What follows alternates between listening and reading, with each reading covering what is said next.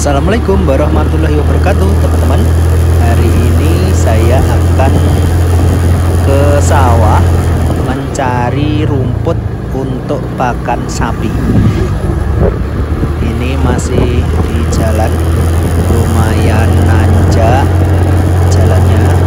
Lokasi di Kecamatan Purwantoro Kabupaten Wonogiri Jawa Tengah. Tepatnya di Desa Biting terlihat pemandangannya sangat hijau sekali. Kita sudah sampai di sawah. Setelah perjalanan sekitar 5 menit. Nah seperti ini pemandangannya teman-teman. Kita lihat ada tanaman padi yang sudah berusia dua bulan lebih dari semenjak ditanam. Ini sekitar satu bulan lagi bisa untuk dipanen. Kita lanjutkan misi utama kita yaitu mencari rumput untuk pakan sapi. Rumputnya ada banyak.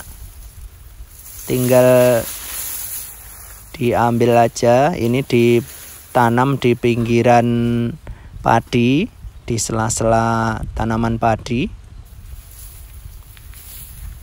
Kita harus dapat dua ikat. Nah ini ada yang nyari rumput juga bapak-bapak. Woi. Kita sudah selesai nyari rumputnya Mari kita pulang. Ada dua ikat.